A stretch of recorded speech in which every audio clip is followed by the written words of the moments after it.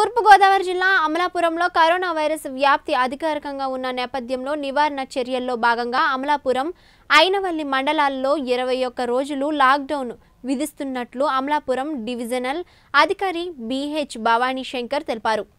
గతంలో మాదిరిగానే ఉదయం ఆరు గంటల నుంచి పది గంటల వరకు లాక్డౌన్ అమలవుతుందని అవసరం లేకుండా సరైన కారణం లేకుండా రోడ్లపై తిరిగితే జరిమానాలు విధిస్తామని మాస్కులు లేకుండా తిరిగితే ఐదు వందల రూపాయలు జరిమానా విధిస్తామని అనుమతి లేని వాహనాలను సీజ్ చేయడం జరుగుతుంది అని ఆయన హెచ్చరించారు. మనకి అమలాపురం కాన్స్టిట్యున్సీలో ఇప్పుడు థ్రెడ్ కొంచెం ఎక్కువ అయినట్టు ఉందండి. అది మేము గమనించాం ఆల్రెడీ ఎందుకంటే ఐనవిల్లో మనకి ఇప్పటివరకు నలభై రెండు కేసులు. మరియు అమలాపురం డివిజన్కి సంబంధించి ఒక పదిహేడు నుంచి పంతొమ్మిది కేసులు నమోదైన కారణంగా అంటే ఫస్ట్ నుంచి స్టార్టింగ్ నుంచి.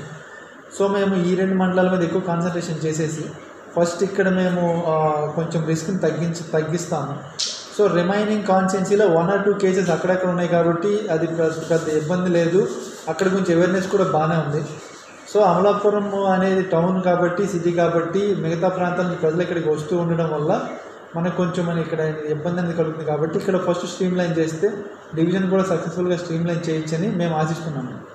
టోటల్ అమలాపురం డివిజన్ మొత్తం టూ డే ఈ రోజు వరకు? మొత్తం అమలాపురం డివిజన్లో మొత్తం ఇప్పటి వరకు మొత్తం migrated labours plus local contacts కలిపి వన్ ఫార్టీ పాజిటివ్ కేసెస్ ఉన్నాయండి.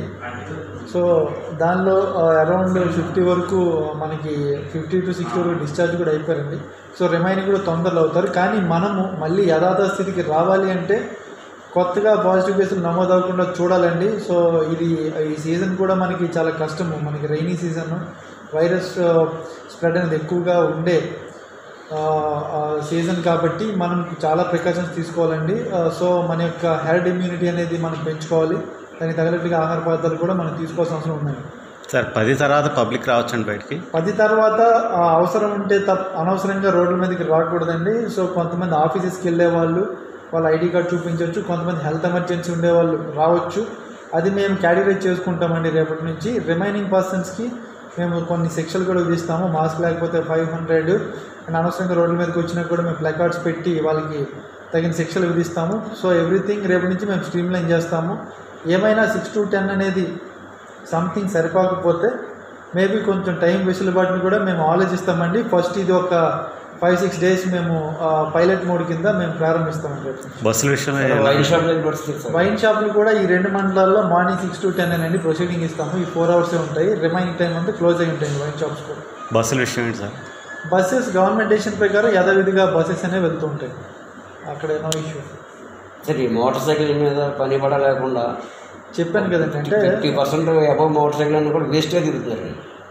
సో రేపటి నుంచి వాళ్ళకి శిక్ష వన్ అవర్ ప్లకార్డ్ పట్టించుకుని నేను మూర్ఖుడిని అని ఆల్రెడీ పోలీసులు స్టార్ట్ చేస్తున్నారు కదండి. అదే మేము ఇంకా రేపటి నుంచి అదే పద్ధతి అనేది ఉంటుంది.